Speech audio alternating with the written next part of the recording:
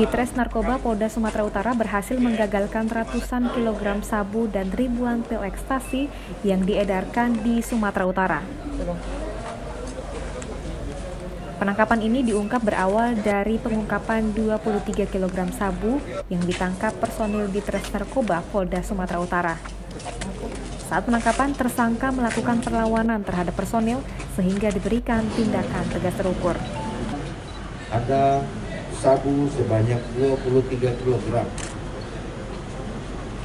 Dan ini juga sekaligus mengindikasikan bahwa warga masyarakat Sumatera Utara sudah sangat peduli terhadap ancaman narkotika ini untuk anak-anak kita, untuk generasi Sumatera Utara dari 23 kg pengembangannya dalam kurun waktu dua bulan tim surveillance tim penyelidik dari Direktorat Reserse Narkotika Polda Sumatera Utara mengembangkan kasus ini sampai ke Jakarta dan di Jakarta tanggal 15 Agustus kemarin dilakukan penindakan di wilayah Kalibaru, Jakarta Utara. Juga ekstasi nanti Dari Medan, Sumatera Utara, Abdul Meliala, Tribrata TV, Kemudian dari tangan Salam Tribrata. ini kita penyidik dapat